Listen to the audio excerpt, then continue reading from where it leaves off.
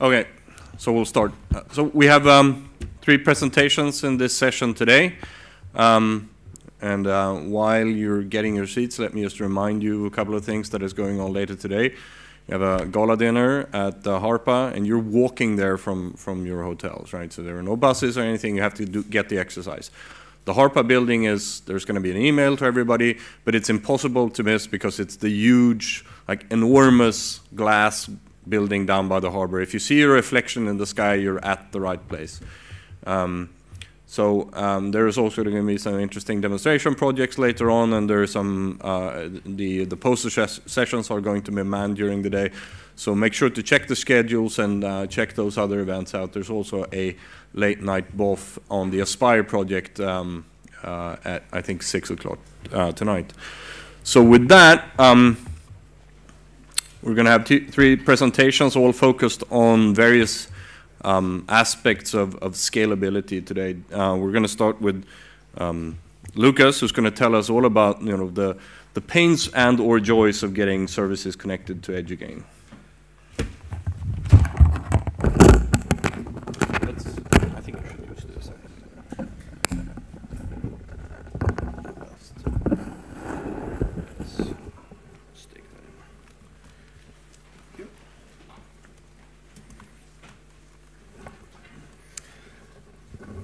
Okay. Well, my name is Lukas Hämmerle. I'm here with the Géant hat on, but actually I work at Switch. I work in the team that operates and develops Switch AAI, the shibboleth-based federated identity management infrastructure in Switzerland. So for those who attended the last TNC in Prague, you might remember our little uh, fitness instruction session with the title How to Trim Your Federation Fit for Edugain. This year, you don't have to do any sit-ups. Um, there is no physical exercise at all, but it's more a presentation that focuses on the services, so the service providers. And it's supposed to be a motivational presentation, not to say speech, because yes, we can get services into Edugain. Yes, we can deploy a, a, federated identity management system that is globally scalable. And yes, I can get through this presentation in time, hopefully. So first, there will be a short introduction about Edugain, because probably not everybody knows already what Edugain is. Then we will have a look at the current state of Edugain before we then dive into um, some examples how to get a service connected to Edugain. We also will see what the current problems are and what we could do about that. Now, this is a map that shows the world and all the identity federations that were known in April 2011. As you can see, there are quite many of them already, mostly in the Western world. And by now, one year later, there are probably more, even more federations available. These are all national identity federations, which means that they work only within one country. Now, the idea behind Edugain is to connect these national federations in a so-called interfederation service. And why are we doing this? Well, these national federations are limited to one country. However, research is more and more international. Also, there are some service providers, like content publishers, that by now are members of many of these uh, national federations. However, they have an international audience, so it also would make sense to get them into an international infrastructure like Edugain. So Edugain wants to connect these national federations in order to facilitate collaboration between researchers. That's the main idea of Edugain. How does this work? Well, Edugain is an interfederation service that has a framework, of course.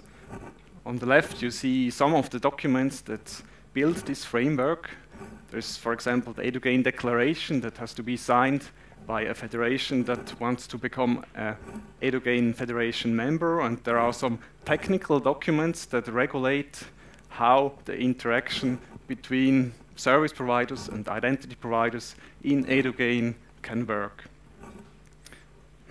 what we also have to say is that the participating federations are not integrated into Edugain as a whole because only a subset of these service providers in a federation are becoming members of, of Edugain.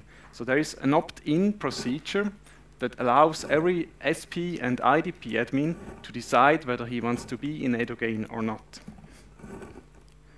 This subset of SPs and IDPs then, um, of course, provide metadata. This metadata is aggregated by a so-called Edugain metadata service. That metadata, which is aggregated, is processed by the Edugain metadata service.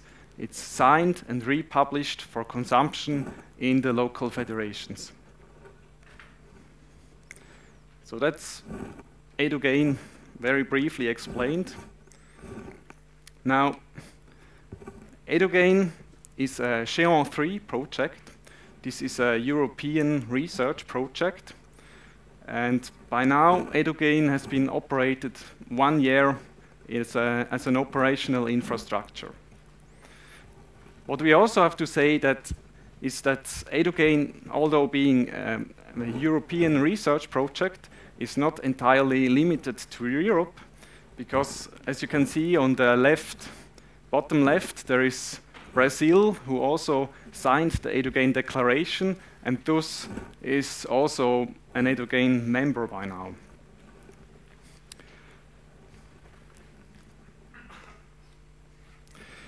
Now, if we look at the federations and services that are already part of Edugain today, we see that we have good adoption in the width, which means we have already quite some federations that um, signed the Edugain Declaration and are uh, members, Edugain Federation members.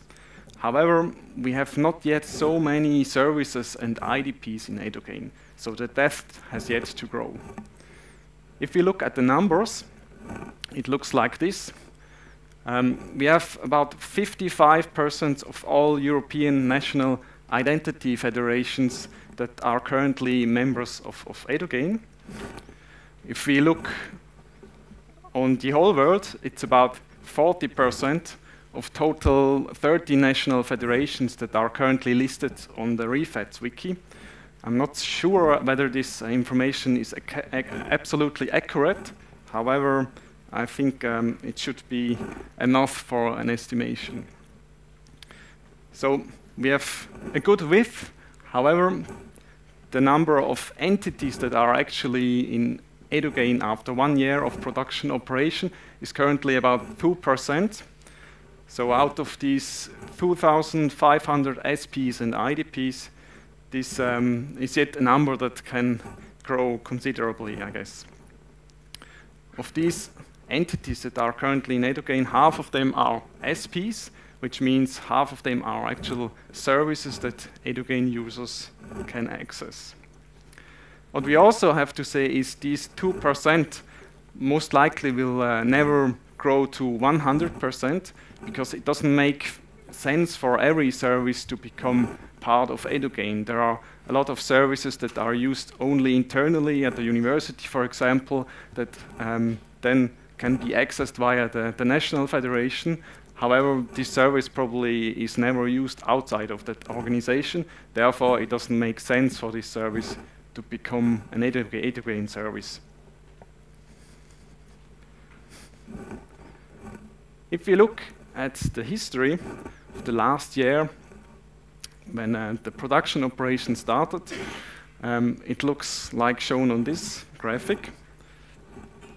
You probably would have assumed that there's a constant line going up in, in the number of services. However, it's um, a bit um, a more bizarre curve. On one hand, on the left, you see a drop in number of SPs and IDPs. That was the cleanup where we um, basically had to remove some entities and SPs from federations that participated in the Edugain pilot phase, but those federations then have not yet signed the Edugain declaration and fulfilled other requirements to become full members when the production operation started. On the other hand, there is this huge spike from September last year to February this year. I will talk more about that in a few slides. But before that, we can draw a um, small conclusion after one year. Um, the good thing is we have no scalability issues yet because of the high number of entities. Um, currently, the number of services uh, is, is not so great that we, we face yet any problems. There are still, after one year of production operation, some test and debugging service operated mostly by NRENs. Um, half of the entities or half of the services are operated by non-NREN organizations, which means universities, and that is great, of course. Um, in a perfect world, this would be almost 100% because, after all, Edugain is supposed to serve the universities and the, the research and education community and not primarily the NREN community. Then if we look at the federations that have most services in Edugain, the crown goes to Italy, followed closely by uh, the Swedish colleagues, because these two uh, country or national federations have most services opted in in Edugain currently.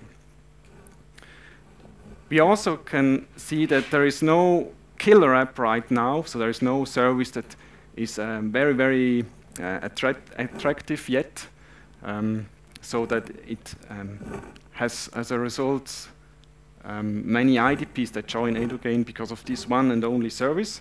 However, the question is, will there ever be such a killer service? Because a killer service would have to meet some requirements.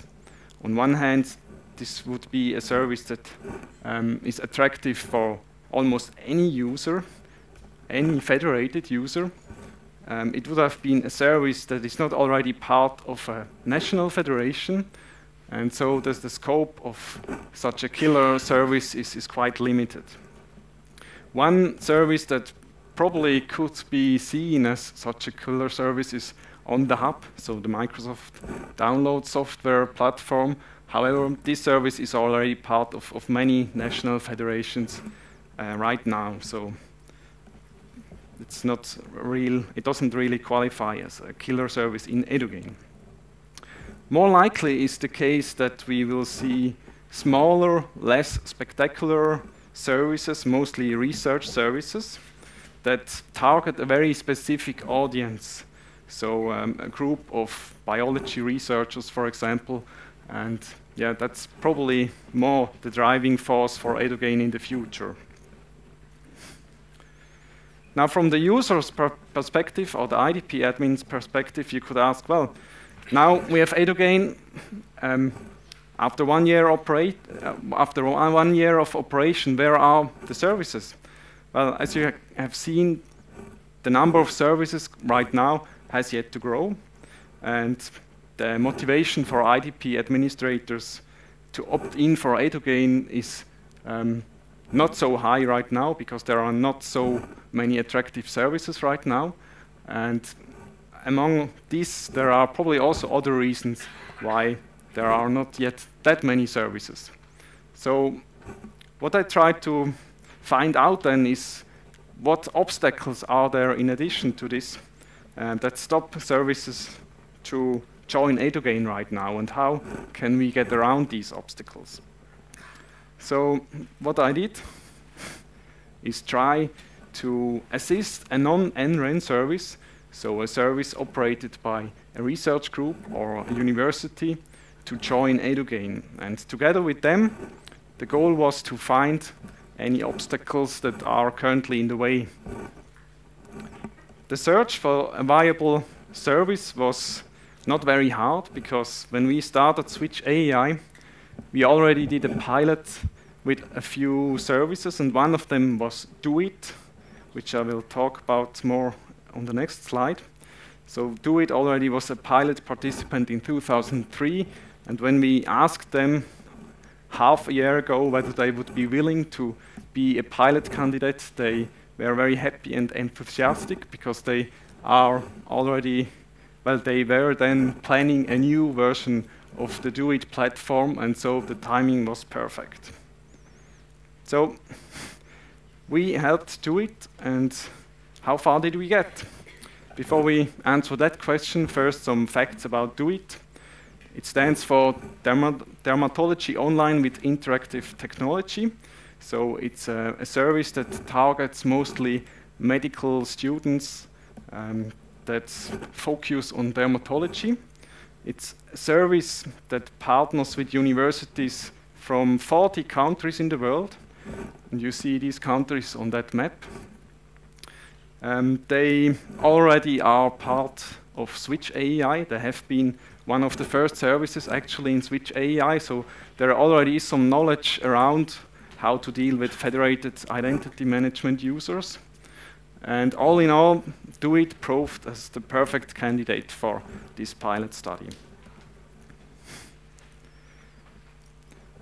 It's great that this presentation is before lunch, because uh, otherwise um, what you see here is just an example of, of the old DoIT platform.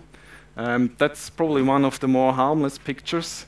Um, and that's also the reason why they actually want to protect DoIT from uh, the general audience um, that accesses it. Because um, people with um, a weak stomach probably wouldn't uh, appreciate what they see here on these e-learning courses if they just could access to it without any authentication and authorization. So that was the plan, and what's necessary to get a service into Edugain? Well, first, they have to opt in at the local federation, in this case in Switch AAI. Then you, of course, have to adapt the configuration, in our case, the Shibboleth configuration, which means um, you have to change the attribute mappings to some extent, you have to adapt the access control, you have to make something that allows Edugain users to choose their um, organization, so you have to adapt the discovery service, and these are more or less the five steps that are necessary. All of these steps are explained in greater detail on the service provider deployment guide that we created for Interfederation. So if you want to see an example of such a guide, that's the place where you could have a look at it. Now, how far did we get? Well, um, DoIT is launching a new version in May or June, I think end of May. Um, so it's, it's um, a new release that will be launched very soon we tested all the, the interfederation stuff with the test version. So um, we set all of these five steps up, as explained before, and we did some cross-federation tests thanks to the assistance of our German colleagues who were willing to create a few test accounts to check whether things actually work. And so, with one exception, um, regarding the data privacy, I think we, we got it all right. So DoIT was ready for Edugain. However, the question is, is Edugain also ready for DoIT? Because one of the problems was that now we had DoIT set up for Edugain, but there are not so many IDPs yet whose users could access it via Edugain. And now the question is, why is that? Well, there are some impediments that we found during the whole process of adapting DoIT for Edugain. Uh, one thing is, it seems that the 12 participant federations are not yet completely ready to actually introduce Edugain in their community, which means only few of them have already the infrastructure in place to sign metadata, for example, and only few of them have guides already ready um, that explain users how to uh, proceed if they want to become an Edugain service. And that was a bit a problem because, well, if there is no infrastructure yet finished and the guides are missing, IDPs are hard to convince to actually um, configure their um, IDPs for, for Edugain. and thus allow users to access Edugain services.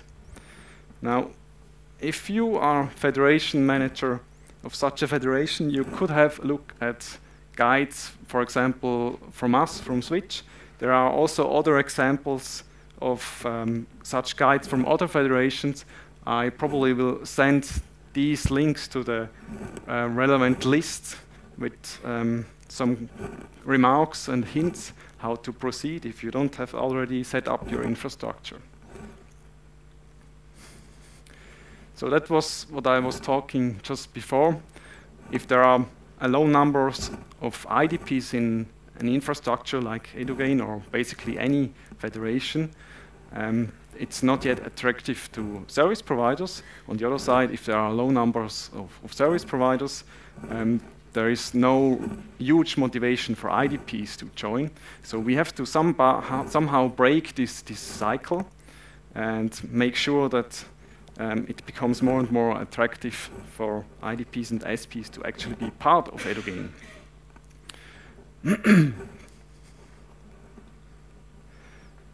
now, one solution to solve this chicken and egg problem um, was tried last year. Um, it's this so-called forced opt-in, uh, where one federation, whose name I shall not mention, um, basically tried to add all their IDPs and SPs to Edugain. Um, so basically, they just published all their metadata to Edugain. And then the thought or the in intention was that they would change their configuration by themselves as soon as the first users would try to access an Edugain service. On one hand, this idea is great because the number of entities will increase considerably. Um, you don't have to do any opt-in process. Um, and of course, it solves the chicken and egg problem very quickly. However, this idea is very problematic because if an IDP or SP is not properly configured for Edugain, then users will see error messages. And what will they do? Well, either they will contact the service operator and complain there, or they will complain at their IDP. And well, all of these two results are not very um, beneficial to the cause. And therefore, this experiment then was stopped this year sometime, which I think um, is, is, was a good decision. Still, I guess it was worth trying it.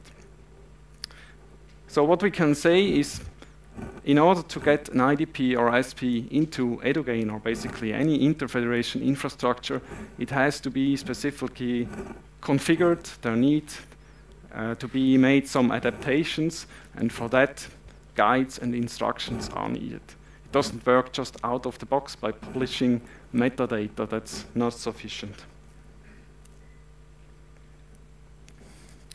Then we have also seen that uh, there still are uh, a lot of discussions currently about data privacy issues. So that's still um, one problem that is not solved entirely. Um, although we, we have to distinguish here. So there are the special cases where a user within a European country access a service in another European country. So that's probably the easier case. However, it gets a bit more complicated if a user from a European country accesses a service in a, a country that has no adequate data protection laws, um, like the European Union. And so there are still ongoing discussions. Basically, there are two possible options. There is one fraction that thinks that user consent is the way to go. The other fraction thinks the code of conduct is the way to go. And maybe um, a third option would be to have both of them.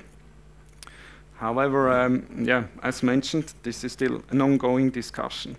To illustrate you the problem, in the case where people tend to introduce user consent, it looks like this. Every identity provider installs a software that implements user consent, the software then asks the user after authentication, do you agree that given name, birthday, and whatever attribute is released to the service provider XYZ. If he agrees, he clicks yes, and then the IDP administrator can sleep well. So he doesn't have to um, fear that he's legally sued. However, um, that probably works only in some countries because there are people that think, well, this is not really an informed consent because there is a necessity in some case for users to access a specific service that is part of their education, and then it gets complicated again. Also, there are people that think user consent is just another annoyance for users um, in the whole login procedure. Therefore, it's also not a good idea to introduce this. The alternative is located on the service provider side and is called a code of conduct. This basically is a document that says, well, I, as service provider, promise to be um, good and don't be evil. So it's a bit um, like the Google statement, don't be evil. Um, that code of conduct, on the other hand, yeah, it's just a piece of paper. There are people who think, well, this is based on self-declaration and there are no audits.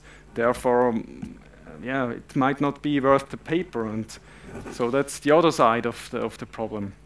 So the question is, is self-declaration sufficient? Or do you want to introduce audits which makes the whole thing um, pretty much expensive and complicated? Then there was a fourth impediment. It concerns the attributes. So the attributes are what the service in the end, um, what the service in the end needs. And in order to get these attributes, the service, of course, needs to somehow declare which attributes it needs. And that's also not very easy right now, because um, not all the services have some uh, declaration in metadata that shows which attributes they need. Actually, it's, it's only about 80% of all SPs, which is a good number per se, but in the best case, it should be 100%. But even if all these attribute declarations are part of the federation metadata, there is still the problem where um, you have, for example, a service that could use either given name plus surname or a display name alternatively, and this alternative is, is almost impossible to express in metadata.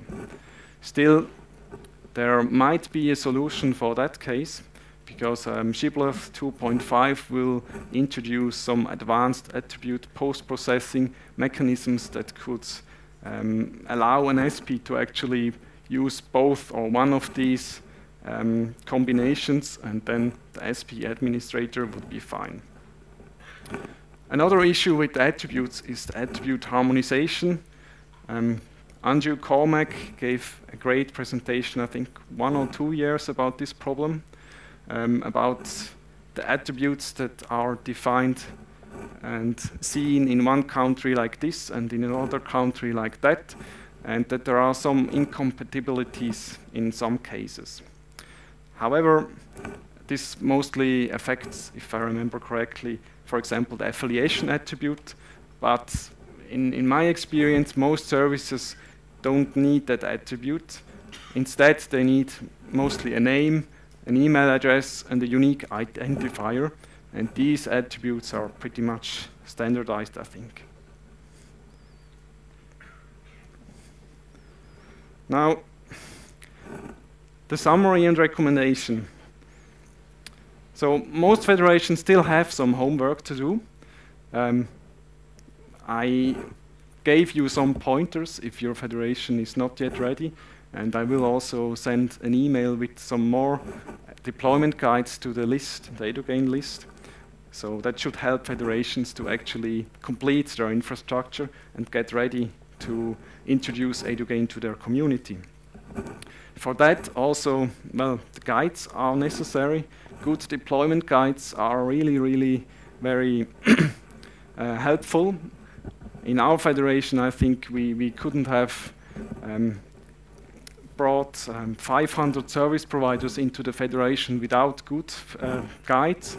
And we regularly hear from people that it actually was very easy to in install such a complex software like Shibboleth having, having good guides. And so we concentrate very much on having good and precise guides, and I can only recommend this to all other federations as well.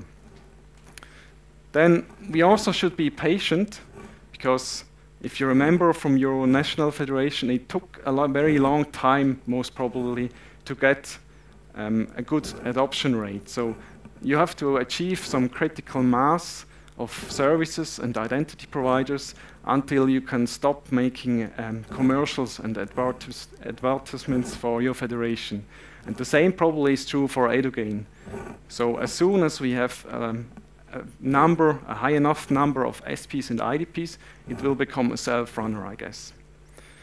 Then from the GN3 side, we also should still put some emphasis, emphasis on supporting the member federations um, by providing some guides and instructions that help them, for example, to get the metadata signing solved. And that should then help to quickly get the federations ready. Yeah, and last but not least, at least in the beginning, when your federation is ready and the first um, interested um, service provider uh, approaches you, you probably will have to do some hand-holding uh, in the first time because you have to explain them first the concept of Edugain, which is also by itself not um, completely trivial, and therefore you have to be prepared to invest some time, at least in the beginning, to um, help them join Edugain. And yeah that's my recommendations. And I hope there is some time for questions. There is time for one or two questions. Um, get Walter and then, you know.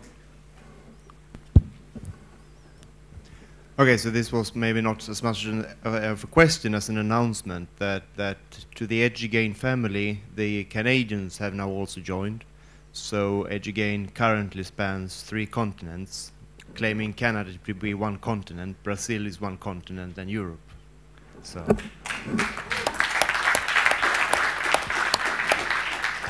So that's great. So and it illustrates that Edugain is not focused on Europe, but also on other continents. Uh, thanks for a nice presentation and wake up call. But one question on the statistics you presented at the first uh, and done some comment after that. The question is, how did you calculate the number of IDPs? I'm concerned because hub and spoke federations, and I'm coming from one of those, are exposing only the one IDP, although behind that, that are hundreds, maybe. That's true. So um, what I did is actually just pass the metadata file and count the number of IDP descriptors. And as Miro um, correctly states, one IDP in some federations can stand for 100 of institutions. So in our so case, you should add 219 to the 290, okay. uh, the other question, among that number, what we have is the model of all IDPs voluntarily on the paper opt opted in, so they are aware that they can use European services. But our medical schools, for instance, for the DoIT, they don't have a discovery service part of our guild, but that's a bigger question. They don't have a discovery service that will let them know there is this, for them nice, for us less, uh, service you have announced as a, an Edugain enabled case in your. And by the way, they also don't know how to um, announce that their services one of these days will be available to the larger public. Any kind of cataloging plan? Yeah, catalog certainly would help. Um, what I planned with DoIT was to ask the DoIT people to contact their partners at the university in some countries. And uh, then they could contact their IT people. And of course, this is um, a bit cumbersome, but at least in this case, I guess um, it's, it's still the best approach. So this is interesting, and uh, discovery is going to be something that we're going to have to discuss in many venues. And I think in the REFEDS community, there's actually a good um, lead on, on discovery in that story. Thank you, um, Lukas. And uh, right now we're going to turn the, the, the, Madonna headset over to, to David Orell, who's going to talk to uh, us about something completely different, but yet not, I guess. Uh, we're going to hear um, a presentation about using Moonshot to enable access to cloud infrastructure. So please welcome uh, David Orell. Hi, is the sound okay? That's all right? Good. Um, right, morning. Um, I'm going to talk to you about some work we've done around Moonshot and um, a cloud infrastructure platform that we're building within Eduserv. Um, little background on Eduserv. Um, we're based um, in Bath in the UK. Um, we're a not-for-profit company. So we're not funded by government. Everything we've done is, is effectively self-funded through our products and services that we provide. So yeah, that's, that's us. So what we kind of tried to set out to do um, in this work was um, to show end-to-end federated access to infrastructure provided in the cloud. I'll come clean in terms of what I mean by the cloud in that context. I'm really talking about infrastructure as a service primarily. Um, so what we tried to do in this was to start fairly simple and say, um, start with SSH. We can, we can provision SSH um, servers, Moonshot enable them, um, and show federated access end to end. So clearly the fairly obvious outcome of that is that it um, provides the ability to scale quite easily and you're not, need, not needing to deal with um, provisioning of identities. But kind of the other way round, um, we heard in the first session this morning that um, federated access isn't universal. I mean, it's fairly standard within our community, but kind of outside this community, um, people still have reasons not to federate their services. Um, it's not there by default. So is it possible for the cloud to provide a platform that where federated identity is kind of baked in to, to the platform and you can almost um, get, get federated access to infrastructure but also to applications on that infrastructure by default. And that may be via Moonshot or it may be via SAML in the web context. It really doesn't matter which. Um, so I already said a little bit about EduSurf. Um, that isn't Iceland, by the way. That is um, within in Bath, the only hot springs in the UK. So that is just down the road from our office. Sadly, it isn't actually our office. Um, the two areas we tend to work in with EduSurf are access and identity and um, sort of the web hosting arena, um, mainly for government within the UK. So over the, really the last 12 months or so, we've been investing quite a lot in, a, in the cloud platform. And this started initially from some funding in the UK from HEFCE and the JISC um, to try and explore some pilot services around cloud infrastructure for the UK education community. And as part of that, we started to build up experience and expertise in, in cloud infrastructure. Um, we're currently, that funding's come to an end. It came to an end in March this year. Um, but that's now ongoing, and we've currently got a beta pilot service running, and there's around about 40 institutions in the UK who are currently part of that pilot. So it's proving fairly, fairly popular so far. If you are from the UK, by the way, and are interested in, in, in trialing this for free, then um, let me know, and um, we'll try and get you signed up. But the other strand to that is that clearly a lot of our business is in um, infrastructure and hosting, and we see this as being a, a, platform that will underpin our existing products and services, and those are already starting to migrate across to this platform. So what does it comprise of? Well, everyone's favorite infrastructure company that we heard about earlier on, um, we, we use them quite heavily. Um, for the actual core infrastructure, the storage is provided by um, Isilon-based storage. Um, and connectivity-wise, really the key thing is that we've got a, a 10 gig link from our data center um, onto the Janet backbone. So that's the hardware side. Um, on the software side, um, this is based around VMware's vCloud, um, which you may or may not be aware of. vCloud's really a kind of an orchestration layer on top of a lot of VMware's existing sort of virtualization technologies. I'll talk a little bit about the architecture of that because it's, it's significant. Um, we're also in the process of rolling out um, file and object-based storage, so a web dev interface on top onto that. Um, in terms of the actual software and tools for managing this, well, vCloud comes out of the box with a tool called v vCloud Director, um, which is quite powerful, um, but it's also quite limiting. It's a web-based, Flash-based application, so it doesn't really give us much scope to customize and work with that. But it does have an extremely comprehensive set of APIs underneath it that we, we, we are actually working with quite heavily in what we've done. What vCloud Director doesn't provide out of the box, we're building our own portal applications on top of that to dealing, deal with things like billing and usage, so the stuff, sort of the metrics you can't get out of, of vCloud itself. So vCloud's really architecturally split down to these things called virtual organizations. Um, and the virtual organization is, um, so we've got around about 40 of these um, signed up at the moment. And they're kind of subdivided into virtual data centers. So you may be familiar with some of this terminology across other, other VMware stuff. Um, a virtual data center allows you to primarily allocate resources to different parts of your infrastructure. So you can put production services within one VDC and development test services within another. So if someone starts load testing something, it's not going to um, affect your production services. So you can seg segment your applications in that way. It also provides the concept of a catalog, um, which can contain templates for these things VApps, which I'll talk a little bit more about in, in, in a moment. VApps are the main units you work with within vCloud, not, not really VMs as such, but VApps, which are collections of VMs. Um, but catalogs can also contain ISO, standard ISO-based media. And as an organization, you can build and um, share your own catalogs, um, or a cloud provider, in, the, in this case ourselves, can actually publish catalogs. We've got standard templates for most, most OSs in there.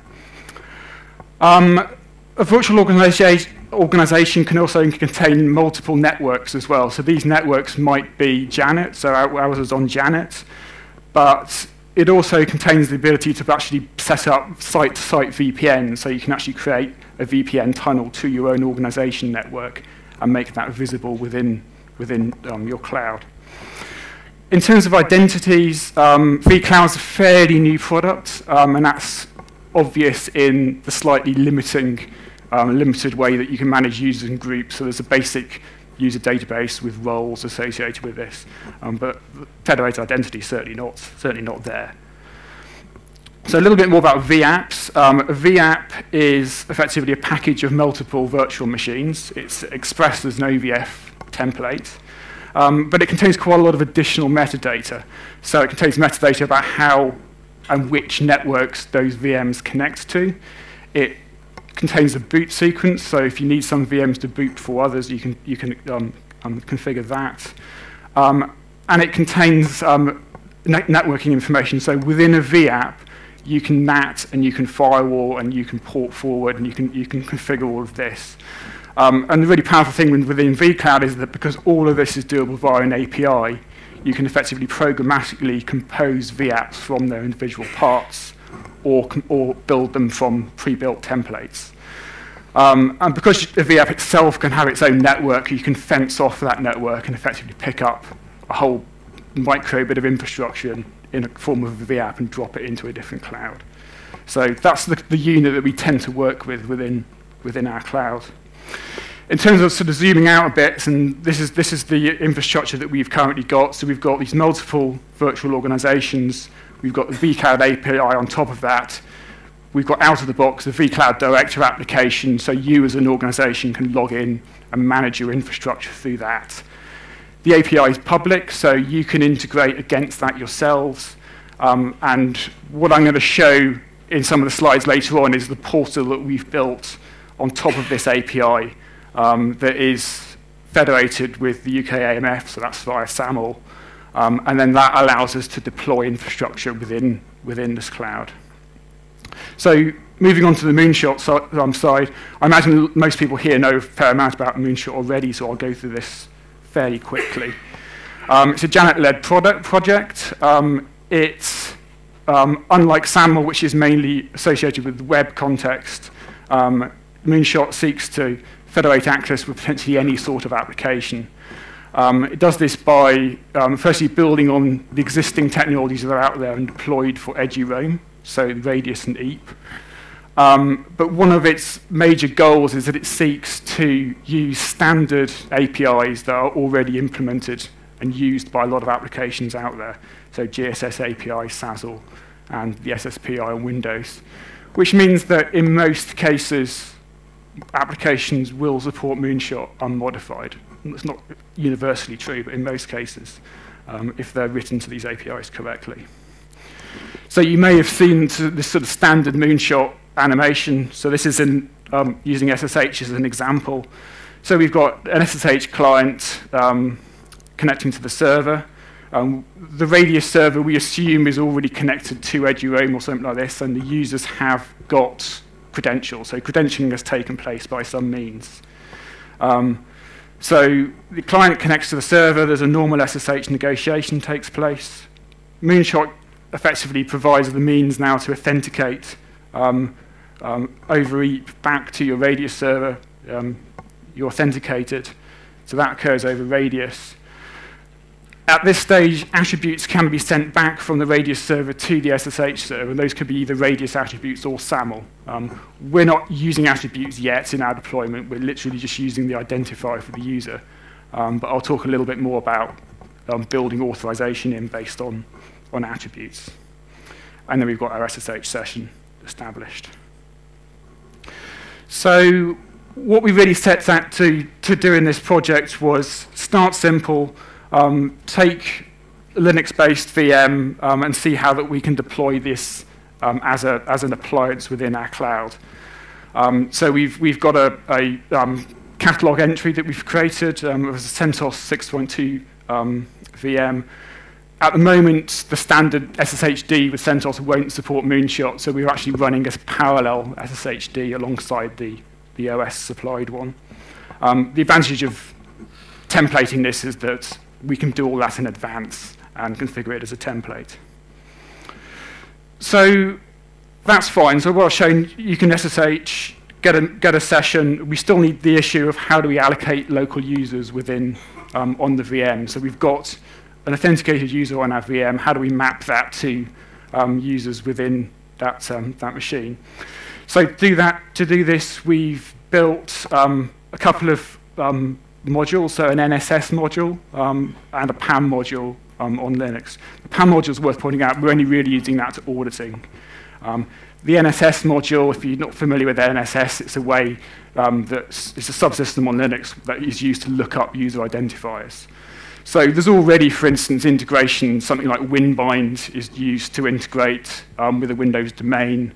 So it's got a similar set of modules that will talk to a Windows domain controller. Um, so we obviously don't have that in this context. So we've built a similar stack that will um, allow us to allocate users dynamically from our web-based console. So how does this work? So the flow goes, goes as such. Uh, we SSH to our server. Um, the moonshot magic takes place against the Radius server. So we may get attributes back at that stage. We're currently not doing anything with those attributes. So SSHD makes calls out to PAM. Um, it, SSH doesn't exclusively use PAM, which is why you need to use NSS as well. Um, so all of the authentication doesn't place, take place um, in, in a kind of PAM context. So within the PAM module, we're, we're able to audit this session. Within the NSS module, we then talk on a local socket to a, a daemon, which we've just called Moonbind, um, which is to kind of play on Winbind. Um, and then that talks via an API back to our portal. Um, and that portal can do one of two things. It can automatically dynamically allocate users on demand, and there's a set of rules that allow, allow that to occur. Or you can have a set of pre-allocated or effectively whitelisted users. Um, and there's a, a REST-based API if you want to automate that pre-allocation yourself. Um, and then we've got a session with our local Linux user and group. So it's worth pointing out that that user and group doesn't exist on the Linux server. It's, it's dynamically allocated via that, that module. So how do we integrate this with the cloud and kind of um, automate a lot of this process? So, so just flipping back, you'll see that this group, user and group allocation is on a VApp basis um, not on a, v a per VM basis. So this means that we have a set of rules and users that are shared across all of the all of the VMs that are deployed within this particular VApp. Um, so the way that this occurs, if we want to deploy a new VApp with, the, with this um, um, Moonshot-aware um, VM, First, we pick that VApp template out of the, the catalog. We perform a, a guest customization on this. Um, and VMware will do a number of things. If VM tools are installed in the machine, the network configuration occurs. Um, we then dynamically perform some of our own customization on that, effectively configuring our Moonbind daemon to be able to talk back to our management console um, so that it can identify, yes, this is a VM that's part of this particular um, VApp, so that we're able to configure these rules. So that's done dynamically. Um, and then that is deployed as a new VApp within, within our organization. So I'll just, in the last 10 minutes or so, just sort of talk you through this from the user's perspective. So what, what does this look like to an end user? So this is federated login to the management console itself. So this isn't um, vCloud Director. This is the, our own application that we've built on top of the APIs. So I'm logged into an example organization. These are my existing um, VApps that I've got created. Um, so I can go and create, create a new, brand new empty VApp. There's nothing in there um, at this stage. So I can then either um, manually deploy individual VMs within this VApp, or I can deploy um, pre-built templates, which is what I'm going to do here.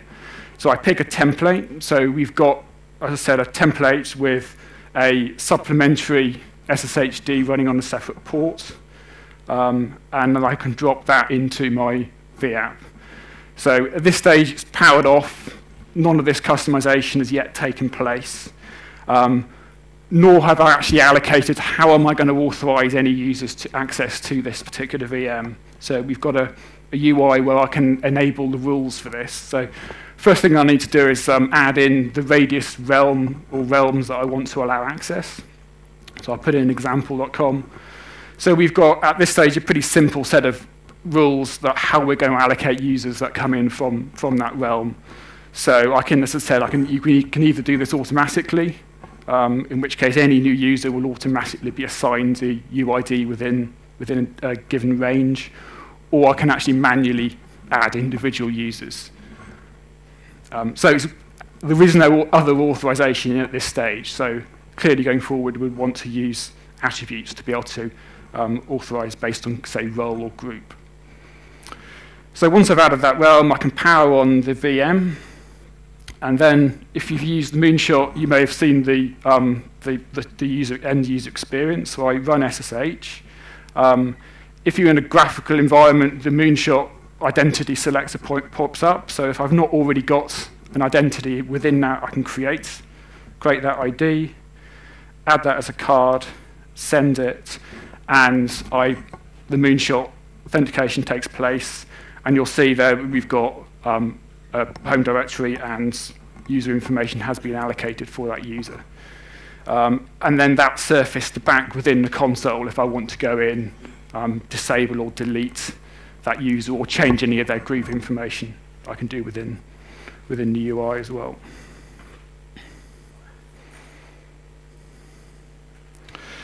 So that's sort of fairly, um, fairly simple, but um, complete use cases that we've, we've sort of taken as a, as a starting point. Um, where, are we, where are we looking at this for future? Um, clearly, there's obviously more work we need to do around authorization. One area that I'm quite interested in is um, taking this configuration that we now have around realms and allocation of users that we're configuring per VApp um, and actually moving that into the OVF descriptor. So the OVF descriptor within vCloud already contains all this other, me other metadata like our firewall rules, our NAT rules. Um, we can potentially extend that to contain um, this additional um, configuration for federated identity as well. So that, that's an area we're, we're keen to explore. Um, so looking at other applications, I mentioned at the start that we, we're currently rolling out a um, WebDAV interface to storage within our cloud. Um, so Moonshot enabling that storage for end users to be able to mount that storage on their, on their machines is a potentially interesting piece of work. Um, we're keen to explore the possibilities of, of Windows and Exchange um, um, infrastructure. And finally, there's this kind of area of platform as a service. Um, So one of the areas that we're currently looking at within our cloud is, is a product called Cloud Foundry. So this is um, an open source, um, bunch of open source software that VMware themselves have pushed out um, that provides a, a means to run your own platform as a service. So this allows you to run Java, um, Spring-based apps, or Scala, or Rails, or a number of different um, um, sort of frameworks um, within um, a kind of integrated platform. So I think there's some quite, some quite interesting work we can do in terms of in, in that space. So yeah, a few thanks to some of my colleagues at Eduserv, um, to, to Janet for finding some useful information. If you want to know a little bit more about the work we're currently doing, then we've got a blog, so feel free to read that. And any questions?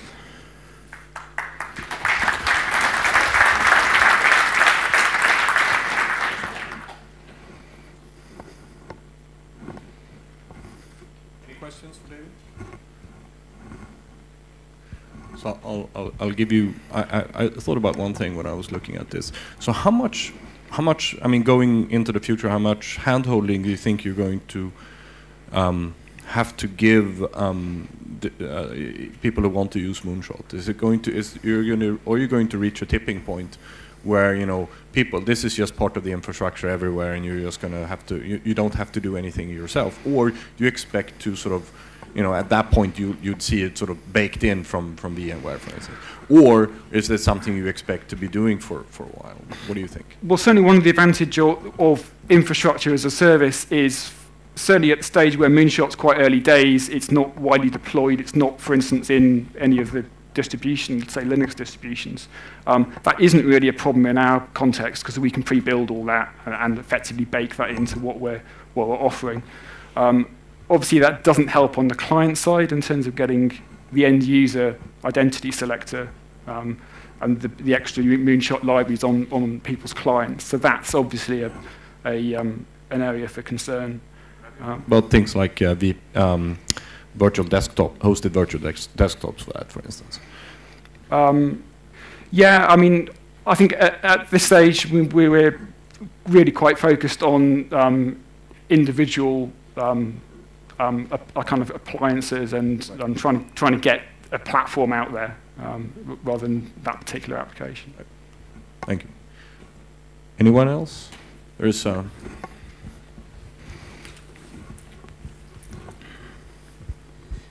Do you see that the high performance computing folks coming and uh, knocking on the door about federated access for v spinning up VMs, and uh, such as uh, the way you described with Moonshot?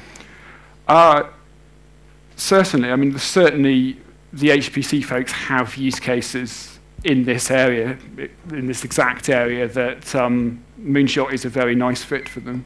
That's, that's for sure. Um, do you mean within our cloud, or do you mean more generally in terms of, of within, Moonshot? Within your cloud, which I think will precipitate the, the conversation about attributes.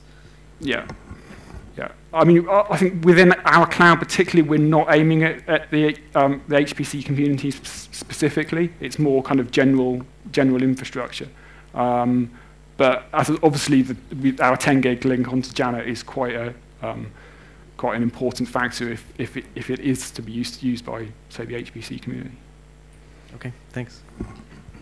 Well, thank you again, David.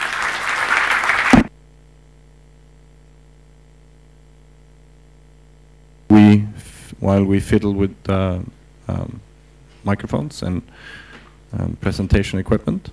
Our next speaker is Andreas Solberg, um, well-known in, in, in inventor uh, of all, all cool new things, um, it seems. Um, Andreas is going to talk to us about um, one of our uh, GÉANT's sponsored activities called Federation Lab. And Hello? Good to go. Yeah, so Thank things you. are working. Excellent. Uh, so as Leif said, my name is Andreas. Uh, I'm from uh, UNINETT, Norwegian Research Network, and today I'm going to talk about uh, interoperability. And for obvious reasons, I'm going to use the term interop. Uh, so I'm going to talk about interop, uh, what and interop issues. So interop issues is what I'm particularly interested in. because we don't like it. Uh, what does cause interop issues? And uh, I uh, have been working a lot with SAML federations, so uh, most of these things are a bit generic, but uh, my examples are taken often from the from the SAML implementations and SAML SAML Word.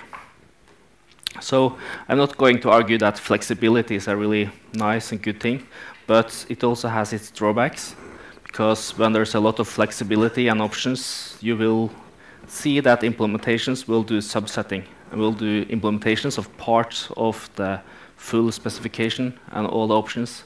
And what will happen when you have a lot of subsets that going to interrupt, uh, well, it won't always work. Uh, you have deployment options. When you are going to deploy a software, you have a lot of options that you need to configure. Uh, people will configure things differently, and then it won't always work. Um, when there's a lot of options uh, in the protocol, uh, there will be bugs that usually are not discovered unless you're doing something corner case uh, when you're talking to a specific other vendor, something like that. Then you will see new bugs that you was not aware of. And uh, usually it's not the software implementers that will discover these bugs, it will be end users. I'm returning to that later. When the specifications is not clear, it's obvious that people will interpret it differently and will also cause interop issues. Uh, another thing is error handling. Um, when it's very common to not do error handling properly, and it might be in some situations that when you're doing uh, some uh, some specific features, you have to rely on the other end having to report that it doesn't support a specific feature uh, unless the end user will uh, end up with the error message. So uh, last thing I would like to mention is uh, when there is a lot of options in the protocol, uh, there is very nice if there is some um, feature negotiation phase or if there is a language of expressing what feature and what deployment options that you have chosen. And uh, that's not always the case that this uh, is sufficient uh, to cause interop, but it's something that's important. So here is, um, here is something called Postel's law uh, that a lot of developers uh, like and follow. Uh, I found it to be uh, come from back in the, uh, from defining the TCP protocol. So it says be strict in what you send and generous in what you receive. And most people would agree that that's a good way to approach to increase interop. Uh, but I also uh, like to mention that it might work in the other direction as well, because even when you follow this principle, the errors or the interop issues that you will introduce will be less, much, uh, much more difficult to discover. Uh, because you will have a bug in your software but it will still most likely work with most of the products, but there will always be someone that is more strict than the others, and then you will have a very uh, specific interop issue that is difficult to discover and will cause, of course, uh, problems for your end users. And here, interesting thing. So some of the protocols deal with XML, and when you're doing security, you have the sign thing and you have XML signatures, including SAML. So uh, um, while this mostly works most of the time, there, uh, the XML signatures specification is actually referring to a lot of uh, lot of other specifications. So there's a lot of options also inside the XML specification, XML signature specification, which is part of, in example, the SAML specification. So it will also in significantly increase the overall number of uh, options that you have when you are deploying uh, SAML software.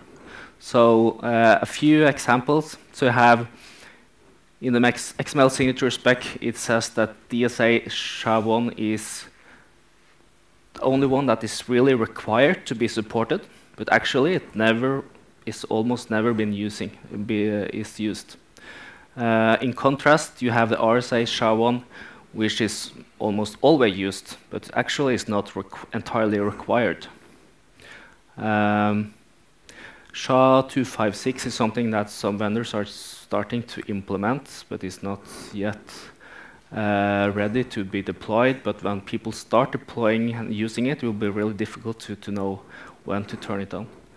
Um, you have canonicalization, uh, which also have a lot of options. So vendors and so software do it different ways, which means that, um, yeah, may cause problems.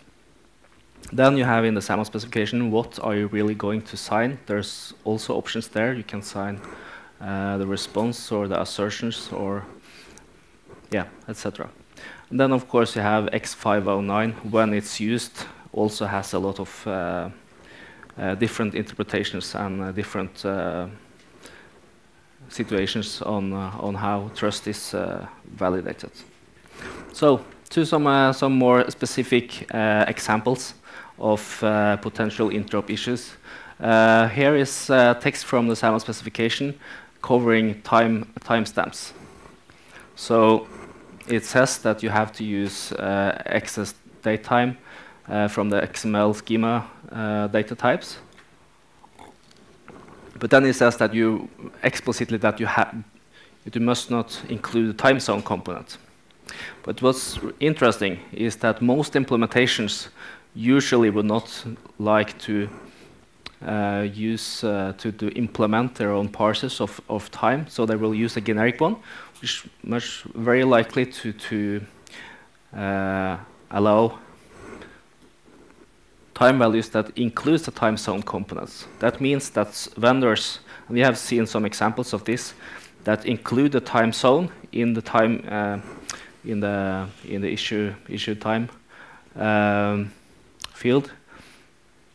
It will work almost always, but still their software is having a bug, and it will uh, occur. Uh, the interop issue will occur when this software that has a bug speaks with a, a, specific implementation that actually are more strict when it comes to validating timestamps. Um, these are things that are a bit interesting and uh, may cause some, uh, some problems to end users. Another topic that's very common to have interop issues with it is URL canonicalization. Uh, it's how do you compare to, uh, to URLs to be to be matching. When a spec says something like, uh, if it's present, the actual recipient must check that the URI reference uh, identifies the location at which the message was received, is something that is not entirely clear how to interpret. So how do you really, um, and I think a lot of specifications that deal with the web and redirects uh, include sentences like this. And some one are more specific than others about how to actually do URL canonicalization and how to compare. Here you see two, two URLs in the XML message. You redirect to this URL. Uh, but when the user actually ends up at this URL, is then that a matching? Um, I would guess that some implementations would say yes and others would say no. Sometimes it would work and sometimes it would not work. Typically, uh, typical usage would be that implementations would, would like to add uh, state parameters to, to return to URLs, which will sometimes work and sometimes not. So there's a lot of things that can cause interop issues, but what will happen when they really um, when it occur? Well, it usually is not something that you uh, encounter during implementation phase, but during uh, large-scale deployment.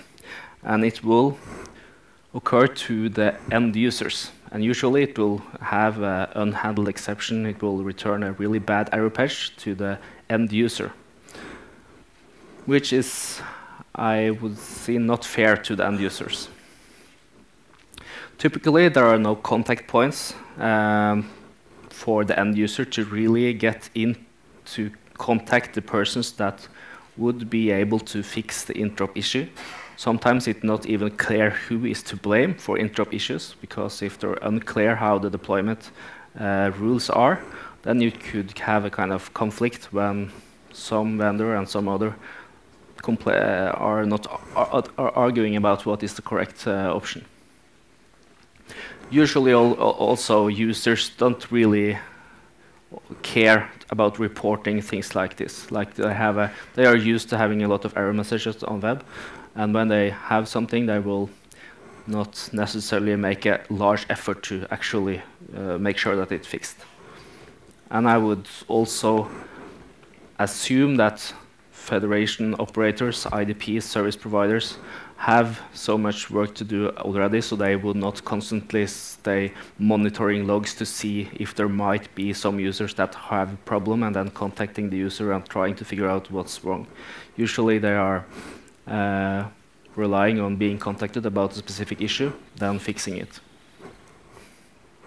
This problem uh, with interop issues is something that will get larger as time goes because you are mostly used to having shibboleth federation with one software uh, within a limited scope. Now we are moving into federations, as Lukas have been speaking about, uh, making uh, it scale a lot. You're not on any longer dealing with shibboleth only software. There's a lot of vendors doing a lot of different implementations, and you will see service providers that do their own uh, very limited uh, subset implementations as well, built into their product. More likely to have interop issues than the more established vendors. So, to end users, you'll see something like this, something like this, like this, or like this. Um, we would not like that to happen. So how to, can we sure ensure interop to, to uh, or encourage interop and uh, counteract uh, these kind of issues in our federations? One approach that we have been uh, do, uh, doing is to make more specific rules in a deployment context about uh, limiting the flexibility and defining configuration options that are required for the, entities to follow. Uh, we have an example of a work called SAML2 int, which is actually now being adopted by Kantara initiative to will be turned into a more standardized uh, deployment specification. So that's really good. Um, it will increase the chance of interoperability because it don't leave the, the option to the each individual entity to select what is preferable to them to, to uh, how to configure their product, but instead provide some guidelines that will be the same for everyone. So even though um, SAML2 int is used a lot and a lot of federations are already referring to it. It's a bit difficult because these are pretty hardcore stuff that is difficult to service providers and identity providers to actually make sure that are they compliant according to this specific deployment profile. Um, so um, it's not as optimal as I, I, would like it to be. Um, in, uh, in contrast, it works more like this is uh, dispute resolution when there are conflict, and you can always have something to refer to to actually make sure what is the correct behavior. Another approach that we have been involved in would be uh, Kantara matrix testing. We have been participating with the product Simple SAML uh, PHP. Uh, we have spent several in weeks intensive work to go through a program, a test program with Kantara Initiative. They have been doing this uh, for a lot of uh, for many years. Um, uh, prior, it was uh, Liberty Alliance. Um, So what actually are done in the, this uh, this matrix testing is that there was five products that were participating in a team, daily video calls to to spend time on configuring project to behave in a specific way. Then afterwards, walking through the test phase, uh, making sure that everything is working. Um, so this approach, uh, in this approach, we did everything we could to actually try to make it work. And when it succeeded, we uh, were passed as, uh, as compliant and conformant, uh, certified to, with this matrix testing program. So while this approach uh, gives results and uh, would be able to find some errors, uh, at least severe errors, uh, there are also some errors that are likely to pass this. Also typically the kind of errors that I have been talking about earlier. So um, we have done an another approach as well, uh, which is from the GEANT program, uh, the Federation Lab. We did it first with SAML. What it, do, uh, what it do is that it simulates being an identity provider in the SAML federations, and you are able to connect your service provider, configure it to trust the identity provider, and you start a tool that will in back channel automatically test approximately 80 different flows that are not things that are likely to work, but instead things that are likely to break. Um, and it breaks a lot, so it finds problems with, uh, with software, like it was intended to do. So it's um, the tests covers things like security issues, uh, errors, spec validations, uh, and non-recommended deployment options. So this approach, I would uh, state that is more likely to discover interop issues than the matrix testing.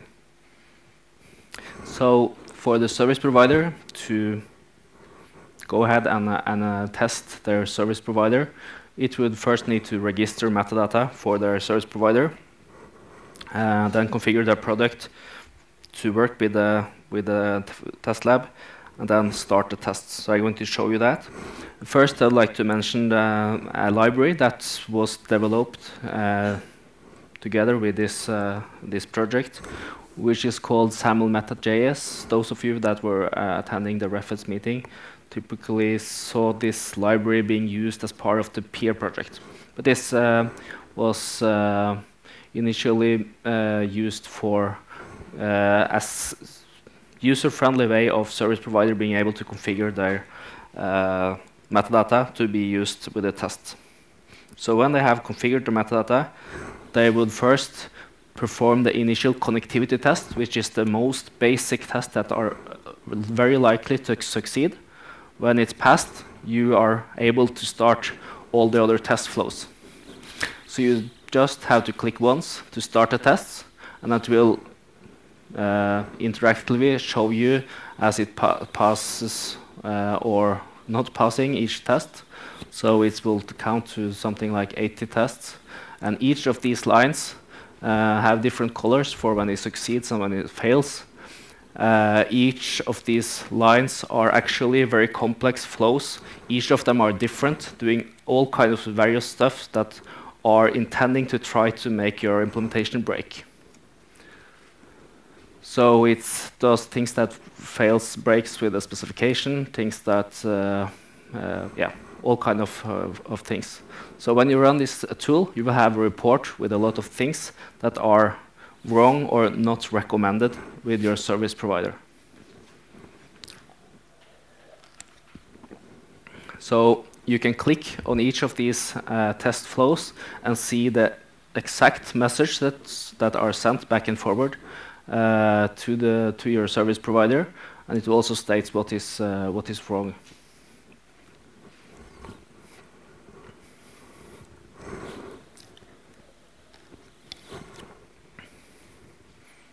So, what uh, this is uh, something that we did uh, quite some time ago. So, what's new last year is that we have been extending this uh, test infrastructure to cover a new emerging standard, which is called OpenID Connect, which is something that's likely some of you have heard about. which is uh, promising um, authentication uh, protocol that will be the new version of OpenID, which is not, which uh, is actually a thin layer on top of uh, OAuth 2.0. Um, you will be able to learn more about OpenID Connect in a later uh, session with uh, Roland.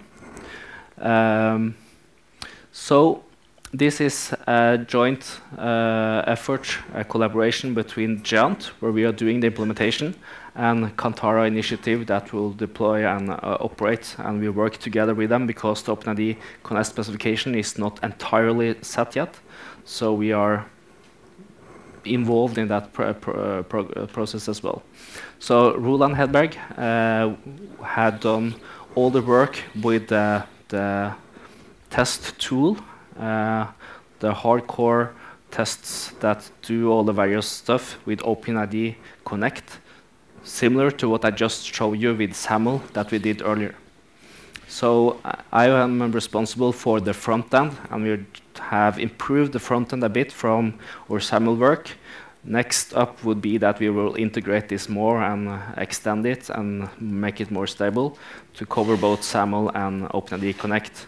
Uh, so the backend test tool is written in Python, and the frontend is uh, written in JavaScript using Node. Uh, it's already available at public technology preview at this URL. Or, um, yeah.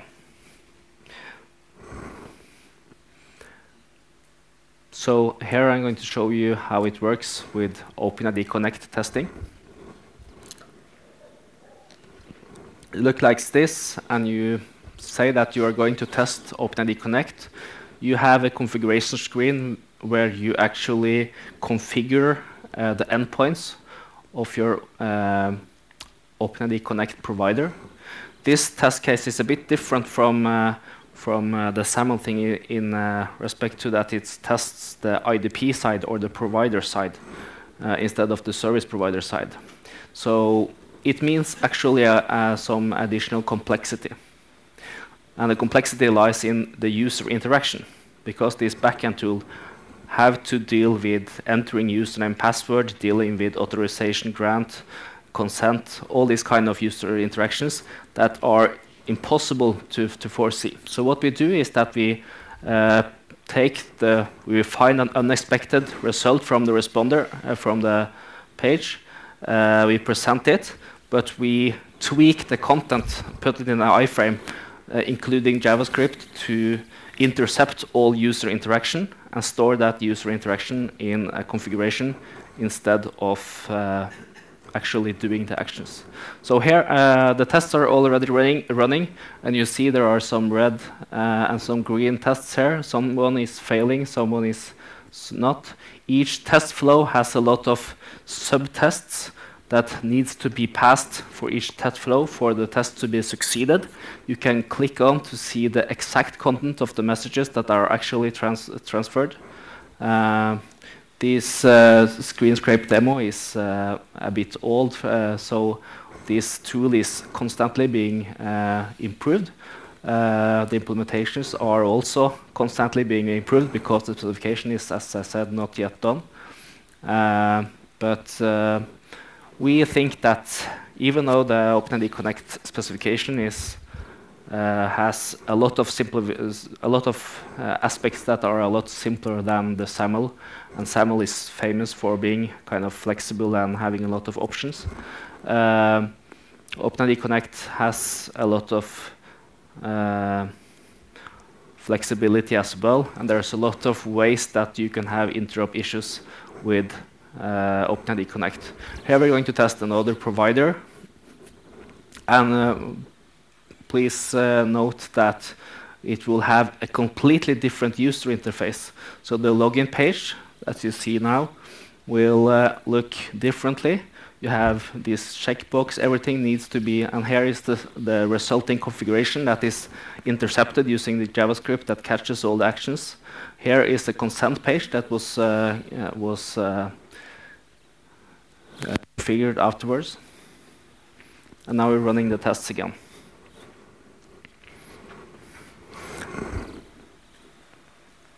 So I think that this work is uh, important because uh, some effort in making sure that the products are interoperable and deployments are interoperable will save the end users from a lot of problems in the future. So that's what I, what I got. So I think we might have time for potential question if there are some.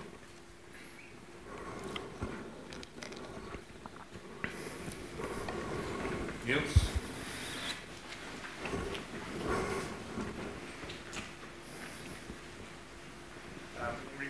Federate, whoa, sorry. in regard to the federation uh, testing tool, um, is it currently possible to sort of automate the test and have that mailed or whatever? Um, we have a platform where we change a lot of stuff, and we would actually like sort of to automate after each deployment, run it through the Federation Lab and make sure that we didn't break stuff uh, too bad. Yeah, a very good question, and the, the answer is that uh, that's part of the design. So, uh, but as I said, this is uh, things that are currently being developed. So we have not documented and provided this interface to be used yet, but uh, it will be. Um, as you see, the design of this, the, at least the latest version used dealing with OpenID Connect is uh, based on a very interactive front end that actually using all the REST interfaces towards the, the backend. So uh, by design, it's very simple to just put that REST, make use of that REST API into your test deployment or uh, script. Uh, it will take some time to run though to through all the test flows, but uh, yes, that's the that's the intention. Cool, thanks.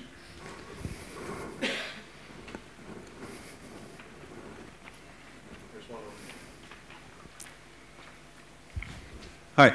Um, in general, do you think um, it would make sense for a service to offer a strict option where you say, if you want to test what you've made against uh, in, just in general any service um, because normally it might accept lots of different things but you want to know if your um, client works well so you just set an option saying treat me now, strictly now because I'm testing my own uh, relying party.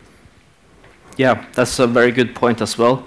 And we have thought about making different profiles of what you would like to test. So typically you could have a very strict one that tests everything that's uh, could go wrong or anything that's very very strict things that are uh, running all the tests and also uh, we are thinking about maybe making different profiles for different contexts so like eduGAIN has have specific rules that are only relevant to eduGAIN so it would be okay nice to have an eduGAIN profile where you say that I would like to test this in eduGAIN context to make sure that I follow all the the rules that applies to deployments in eduGAIN. So, uh, so yes, that's a good idea, and uh, we're not yet there yet, but it's uh, natural further work. That's an interesting point. Uh, I'm involved in this Kantara business that you mentioned, and we have um, we have national bodies lining up to they they actually asking us for a commercial version of this that they could you know, pay to have their national federation testable. I think that probably aligns well with our one of our keynotes this morning that this sort of move to consumerization. And the the reason we've seen a declining interest in full matrix testing and an increase in, in, in testing deployments is precisely because there's less buying software and more buying services. That's the trend, right? So you want to test, if you're a national body, if you're a national government EID federation, you actually want to make sure that your the services you buy for that federation work. You don't really care about the underlying software that they use, and that's something that those vendors have to straighten out. But the, you want to test the services, and that's why deployment testing is probably that's why it's on the rise. Anyway, are there any other questions? With that, I think we'll thank Andreas.